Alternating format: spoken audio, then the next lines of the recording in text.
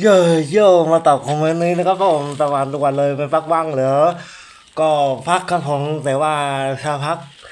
เยอะเกินไปพักมากเกินไปเราก็ ไม่ดีนะครับต้องทำกลัวว่าไม่ได้ทำนะครับกลัวว่าวันหนึ่งไม่มีโอกาสได้ทำวันหนึ่งไม่ได้ตื่นมาหายใจ วันหนึ่งไม่สามารถที่จะหยิบจับอะไรได้ กลัวว่าวันหนึ่งจะแก่เกินไป กลัวว่า ทุกๆอย่างที่เราคิด แต่เราไม่ท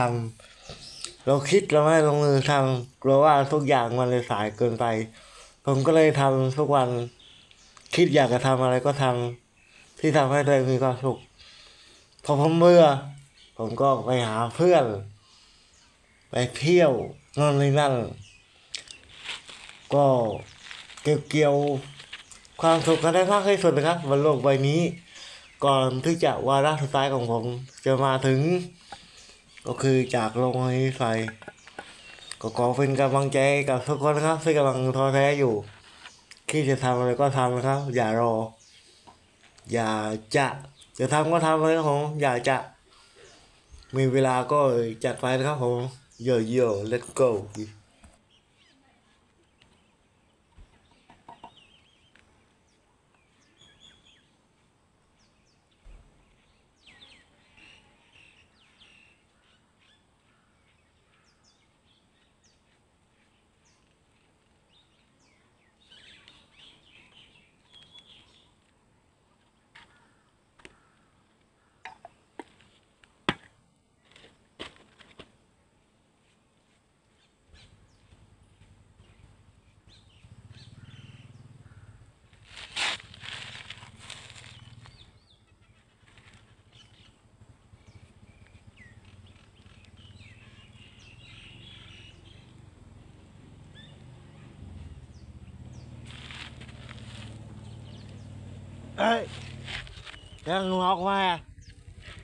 าแต่เดียว